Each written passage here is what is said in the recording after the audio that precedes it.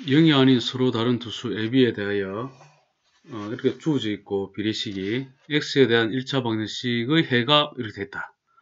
자, 내항, 외항 이렇게 곱해야 되죠. 그러면 2, 2a-b는 3 곱하기 a-b 됩니다.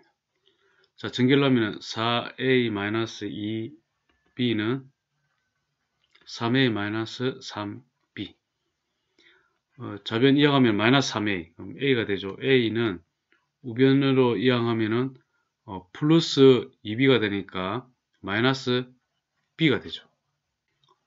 자 a는 마이너스 b라고 했으니까 이거를 여기에 a 대신에 마이너스 b를 대입하는 겁니다. 그럼 x는 x는 a 대신에 마이너스 b를 대입하면은 마이너스 3b 되고 마이너스 5b 이렇게 되고 그 다음 a 대신에 마이너스니까 마이너스 b 마이너스 3b가 됩니다.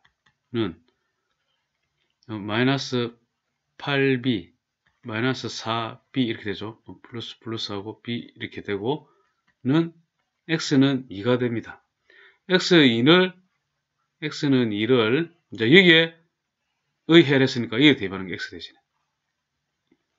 10분의 2 되고 음, 마이너스 5분의 x 대신에 2를 대입하면은 2c 마이너스 2는 마이너스 2 5 이렇게 되죠.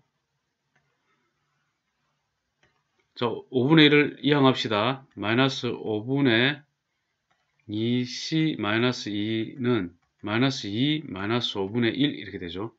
는 마이너스 5분의 11이 되죠.